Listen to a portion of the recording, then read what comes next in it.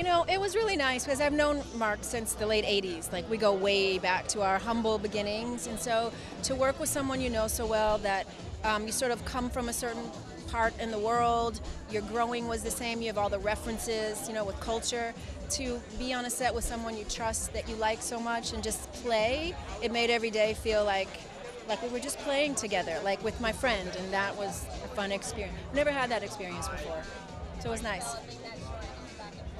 Oh yeah, we had it like day one. Like we, we just feel like we feel like home.